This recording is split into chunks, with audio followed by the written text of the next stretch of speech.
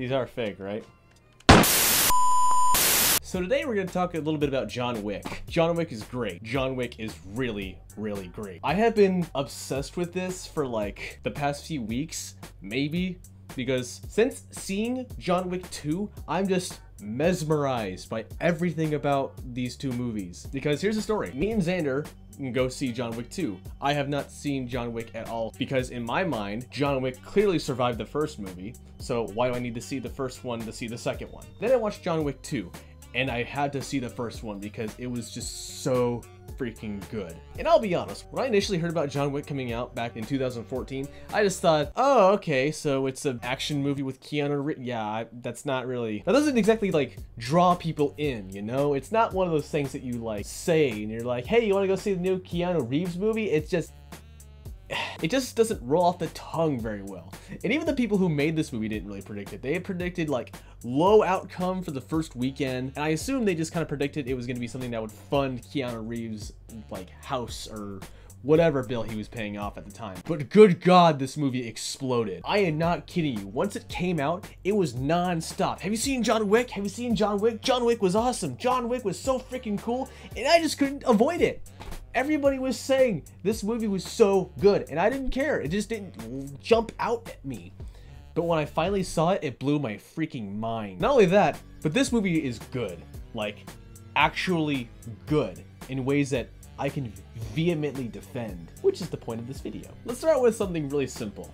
And you're gonna scoff at me and be in disbelief when I say it, but hang on here for just a little bit. Keanu Reeves' acting is good. Now don't go away yet, I know how that sounds. You might be wondering if I need to be locked up in the asylum, but I promise you, I'm being honest. His acting is actually really, really damn good in this. I know we rail on him and make a joke of his career by pulling up. Whoa.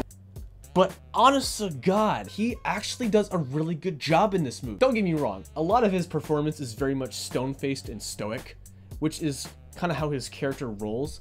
But the few times where he does break that facade, and like show emotion, it is so powerful. I'm thinking of these two scenes right here. This scene right here is in reaction to reading the last letter he'll ever see from his dead wife because she left in the will that he have a dog. This scene is when he's being captured by the head of a crime family in New York, and after said dog is killed, he goes on a rampage, and he is telling that man's father that he is going to kill him because he took away the last thing he ever could love. Both of these scenes are powerful as hell, and it is so amazing to watch. You could feel the freaking emotion just pouring out of him, and it's like, oh my god, Keanu can act! And there's like nowhere to go but up. And there's little things about his character that, that makes you question the guy, and I'll come back to that later. For now, let's talk about the action because it is so freaking good. I know I'm saying that a lot, but really it just holds up for these movies so well. Let's compare a gunfight to a more famous movie than this one, and then compare John Wick.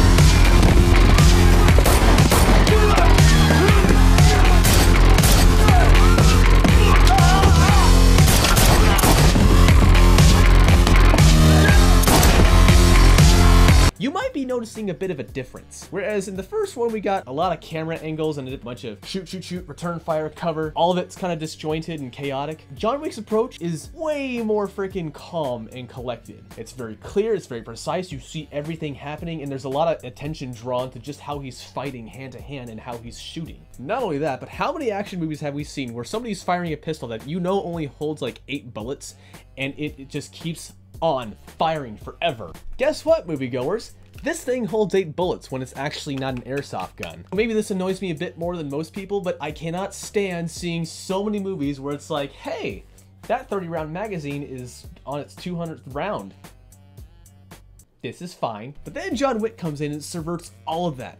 All throughout the movie, we see him taking time to reload magazines, actually like reloading in the middle of fights when he has downtime to do it, and he's taking care to make every bullet count. You'll notice he goes for a lot of headshots and he usually gets them all because he wants to be sure they stay down and he's not wasting any ammo. It is so amazing. Not only that, but just as a quick side note, in the first John Wick, he kills probably about, mm, I believe the last count was like 72 people in one movie. John Wick 2 takes place, I think, about three days later. He kills 128. Every shot that he takes is a crazy kill shot. Pinpoint accuracy, fast, precise, just nailing every freaking shot like crazy. There's this scene in John Wick 2 where he's like in these catacombs or something in Rome, and he takes on like I swear 60 people using his handguns, a shotgun, and a carbine, like all within like a good 10 minutes.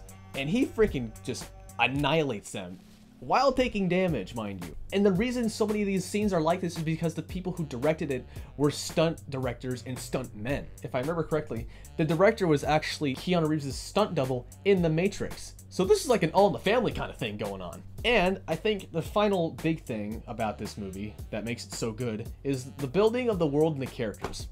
Take a look at this still. You see that tattoo on John's back? That isn't just some ominous Latin phrase and something to make him look really freaking cool while he's showering and looking all menacing. That is the motto of, I believe, the Marine Corps 3rd Battalion. So if you're in the know of what that is, you already know what this character's about without him having to say a word. Not only that, but when you're watching this, you notice some of the little interactions he has and how people react to him. And when they're not trying to kill him, it's generally out of respect and, you know, caring, like, hey, John, how you doing? You working again? That kind of thing. And he's friendly with everybody else, so you can kind of infer what he's like outside of being a hitman. And not only that, but the Continental, the hotel that Winston runs, it has its own rules. There's its own currency, its own form of membership, how would they operate. And like, the Continental is a completely neutral ground from like every other crime thing. If you go there, you fight on that ground, you are dead. Not because you like get killed by whoever you kill probably, but because Winston whoever owns the Continental in the other parts of the world will make sure that your membership is revoked and you... In John Wick 2, after finishing his part of the deal that he made with, I believe his name was Santino, he gets betrayed and Santino puts a hit on John Wick for like $7 million.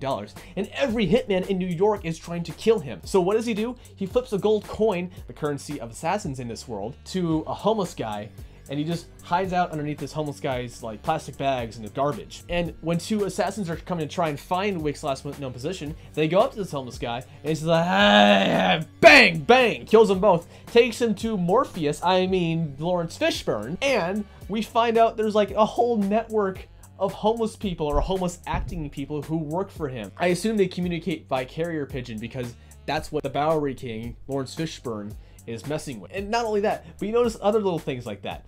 Like how every other assassin uses like one of those little mo cheap Motorola burner phones that you only get if your iPhone's in the shop and nobody else uses smartphones. There are so many little details packed into this movie. You could make a franchise out of this world alone, not necessarily just John Wick, but the world of John Wick. And it would be, I guarantee you, amazing. These movies are great.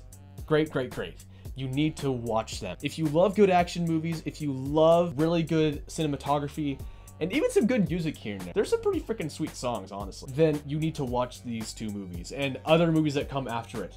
They're all good. You need it. This movie was like a major sleeper hit back in 2014 when it came out, and for good reason. Because, like I said, expectations were pretty low. It's just a Keanu Reeves movie where he kills a lot of people. But when you watch it, it's a Keanu Reeves movie where he kills a lot of people, but he does it really, really awesome. I'll see you guys in the next one. I'm Danny Movieman. Have a good day.